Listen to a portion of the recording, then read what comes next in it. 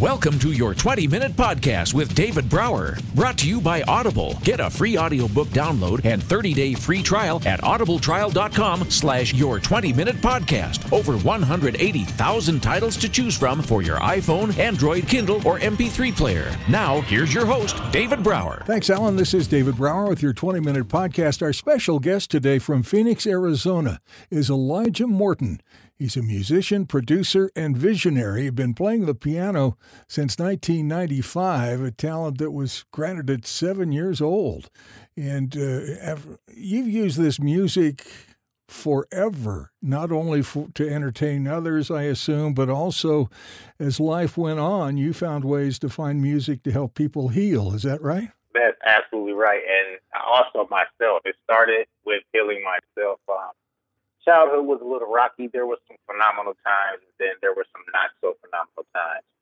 And I would always turn to music to uh to, to escape those not so phenomenal times, even if it was just for the duration of like a three or four minute song. Yeah. And uh, yeah, I've used that ability to help to help people as well.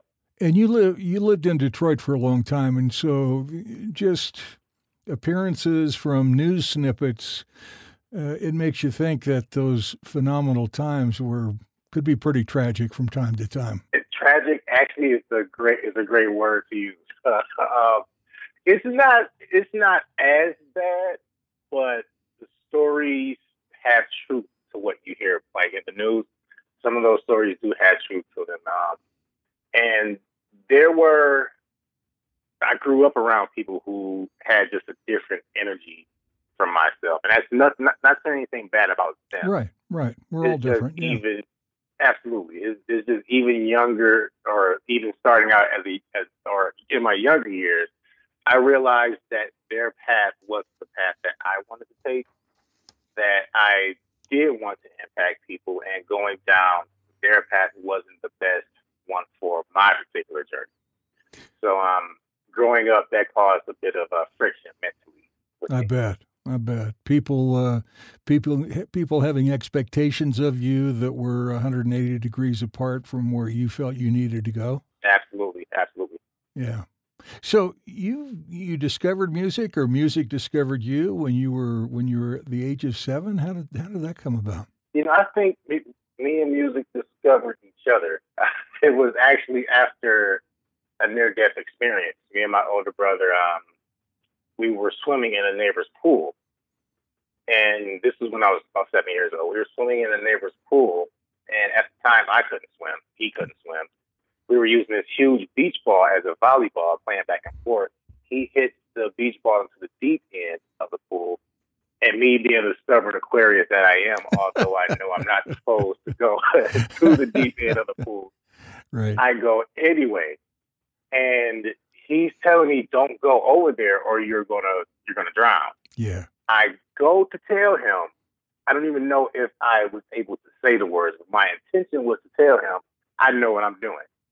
And before I could even do that, I fall in and I just remember I actually don't remember falling in. I'm just like panicking and I'm kicking, I'm flailing my arms, heart racing. The next thing I remember is pulling him under to try to save myself. Sure. And then literally the next thing I remember after that is panicking, throwing my head out of the water, and two friends were with us at the time.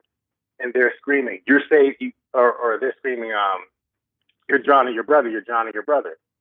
And I look down and I'm holding him under in a panic, trying to save myself and not wanting to drown my brother, of course. Of course. I let go and I fall in. And I'm exhausted from this fight. You know, this is happening all so quickly and I come to the understanding that I am about to die. Wow. And me dying, that thought wasn't the scary part because I was okay with it. It was the fact that my mother was about to lose both of her children, her only two children, when she was just innocently taking a rest on a summer day. Gotcha. You know, she was going to wake up and she was going to take, or she was going to realize that she lost both of her kids. That was the worst part about it. And I did not want that for her. And as soon as I felt that, you know, as soon as I pretty much said with my soul, I don't want that for her, literally instantly, I'm leaning over the shallow end of the pool. taking a breath, and Wow. everything's calmed down, everything is relaxed, and everything is happening so quick. It's like a montage in a movie. Yeah, sure. And the, the two friends, they're yelling, "You saved you, you just saved your brother's life. You just saved your brother's life." I turn around and I realize they're looking at me and telling me that, and I'm like, "I didn't save my brother's life. I don't. I almost died. Did you not see what?" And they're like, "No, you just saved your brother's life. You grabbed him and you swam." With one arm, and you swam both of you guys to safety, and you saved your brother's life. My brother's looking at me, dumbfounded, like, "Yeah, you just that just happened." Wow. And to this- day to this day he says the same thing. Like yeah, he says it like he remembers like yesterday. Like yeah, that's exactly what happened. And I actually got a reading years and years later, and she told me that out of nowhere, she just told me like something happened to you when you were seven. You almost lost your life, and it was to shake you up to the greater aspect of yourself, so you could know who you are. It was to kind of shake you to get your attention. And that's exactly what it did. I say all of that to say, after that experience, maybe about a year or two later, I just had this insatiable hunger to learn the piano. Yeah. And I would beg my mother to give me this cheap little $80 Casio keyboard, which she did. And she also bought classical CDs just out of nowhere. And after that, I would just sit and listen to like Beethoven, Chopin, Mozart, and I would just start playing it. Here. oh my gosh. And this was something that was also unlocked during that near death, that very traumatic near death experience. And, Yeah. you know, that's what the medium told me as well. And it was, it was very interesting to hear it come from someone that had no idea that it even happened. Absolutely right. I, I went to one of those many years ago and had a similar experience uh, in the conversation. So I get what you're saying. The thing that I'm I'm struggling with is I can't get rid of the goosebumps. Ah, yeah. you know I, what I'm saying? I, Oh feel, my- I, I feel them too. Every time I Oh my lord, story. brother! Yeah, wow. So, so snippets from a movie, quick, quick, quick, quick, quick. I get that, and and your in your mind, in your heart, in your soul, everything's going to the tank. Your your mom's going to wake up from a beautiful rest and know her kids are gone, and then all of a sudden the world changes. You saved your brother's life. You're okay. And did your mom realize what happened? Yeah, I went in and I after everything happened, I went straight to her. Like Yeah. I was still dripping wet, walked in the house. My grandmother was mad that I was getting water on the carpet, but I walked walked right to my mother and I told her she was still asleep. That I almost drowned. And of course, you know, being a mother and hearing that and Sure. seeing the the trauma on her child's face, you know, she was first grateful that we didn't die. right. And then um, she went down and talked to the guy and, you know, just told me to keep a better eye on who's in your backyard. Well, there's no such thing as no such thing as a coincidence, man. I mean, uh, like the medium told you, this all happened for a reason, and over time, you started to figure it out, right? Oh, absolutely. And, and even after that, I I had a, a, an insatiable hunger for music, and it was also just for spiritual knowledge. I would Yeah. just stare out at the at the moon and the stars, and I came became obsessed with like the universe and the planets and how it all operated and worked together. My God, I'm all right. We've gone from goosebumps to speechless. I'm just I'm fascinated by all of this. so you were seven. May I ask how old you are now? I'm 32. Okay. So in the last 25 years, uh, the world has done some amazing things in your life. Yeah, yeah, it has. It um, it it it's done amazing things, and it was also at times it appeared to be a curse. Sure. And I say appeared because it was just my perception of it. Um, and spiritual growth isn't for the timid, I believe. Agreed. There are things there right. There are things that come at you that really, you know, present you in a very naked form, so to speak. It Yeah. presents who you really are, and that can be uncomfortable with some people. Well, very uncomfortable. I mean, and if you don't have a, a strong enough faith at some level to be able to trust what's going on in your life, good, bad, or indifferent, man, you have you have many opportunities for many train wrecks along the way. Oh yeah, that's that's actually what helped me through everything was faith, was knowing that this is all for a reason. Yeah. And even though I'm going through pain right now, one is temporary, and two, it'll make sense. Sure. You know, it'll make sense. So Sure. And then when did you discover that you could turn these gifts around to help others? Uh, this was fairly recently. I would Okay. say about 2011, Okay.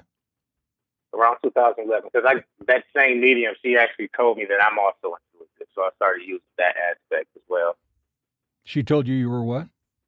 She also told me that I was intuitive as well, Oh, okay. and I started using that aspect as well. Nice. Nice. So, how did your first experience um, of any consequence, I guess, uh, in helping someone change their lives? How did that come about? Well, that actually started my very first situation where I knew that I could interpret information was actually when my father died. He died at 28 years old. This was in 96. And the moment it happened, the moment he was getting murdered, I knew. I knew exactly what was happening to who. And I kind of just went quiet. I was watching TV at the time. I just went quiet and sat down. Yeah. And, you know, the rest of that day was kind of quiet. But my mother woke me up at about three in the morning. She didn't really know how to tell me, so she kind of had to gather the words. Oh, I bet. She woke yeah. me up. Yeah, she woke me up at three in the morning and told me, and my response was, "Oh." And originally, she thought that I was like, "Oh, okay, whatever," but it was more so like, "Oh, I know." Wow. Um, so my first experience with helping someone actually was a friend. Her sister was heavily addicted to drugs, and this is when I really realized that I could help. okay. Her sister was like severely addicted to heroin. She caused me in a panic, you know, to do something because she know that I can do this type of work. Sure. And I started meditating. I started like visualizing what her addiction looked like if it were, you know, transduced into another form, if it were put into pictures, Okay. symbolic pictures. Sure.